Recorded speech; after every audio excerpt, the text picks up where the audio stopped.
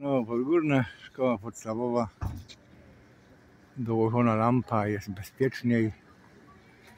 Tam jest zatoka dla dowożących, przywożących. A tutaj jest przystanek autobusowy. Jak widzimy, wykorzystywany nie jako przystanek, tylko jako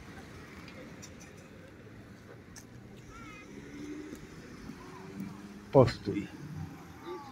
A przystanek, jak babka stanęła na środku, ale poza tym widzimy, że jest oznakowanie, barierki, wszystko jest pierwszoligowe.